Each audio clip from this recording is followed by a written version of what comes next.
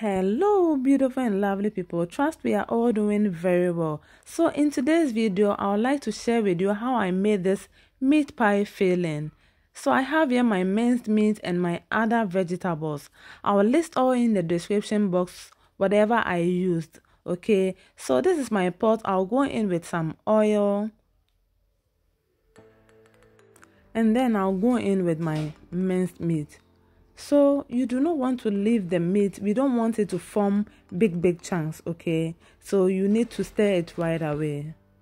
So I'll go in with some blended garlic, ginger, onion, some seasoning, and a little bit of water. So a friend of mine asked me to make meat pie for him about 70 pieces, okay? So this was the filling I, I made for that meat pie. So I decided to share it with you. Thank you so, so much. So, lovely people, I want to say a very big thank you to each and everyone for the love and the support. I wouldn't have made this without you guys. God bless each and everyone. Okay, I really appreciate you all. I'll go in with some rosemary, give it a stir to combine very well, and allow it to fry for about 5 minutes. Then I'll go in with my potatoes.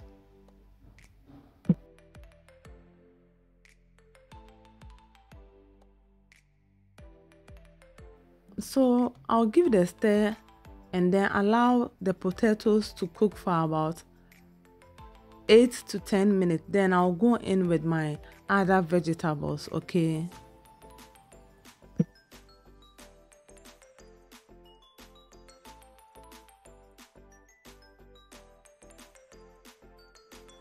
I'll go in with a little bit of seasoning and some salt, okay?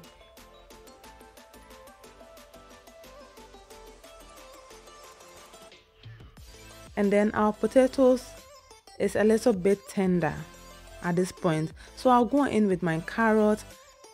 I'll let the carrots also cook for about two minutes and then go in with my other vegetables.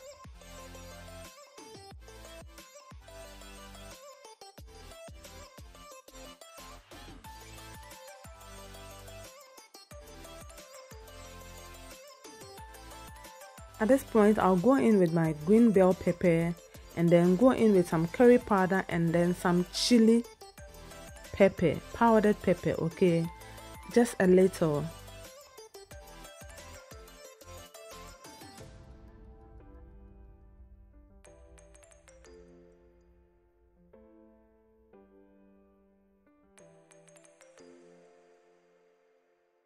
So I tasted for salt and I'll be needing a little bit of salt. So I'll add in a little bit of salt. And then please note, I added one tablespoon of cornstarch, but I forgot to capture that side, okay? Please forgive me. So when you are doing it, just add one tablespoon of cornstarch. I'll go in with my onion and then mix all together and then allow it to fry for about one minute and then I'll take it off from the fire.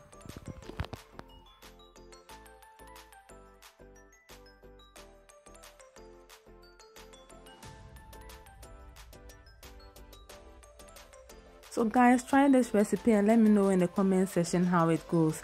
This was really good.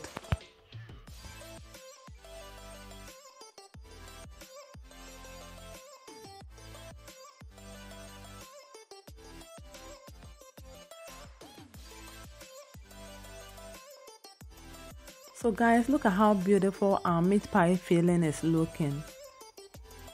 This was so delicious. Trust me, not a koye pa. I'll see you in my next video. Bye.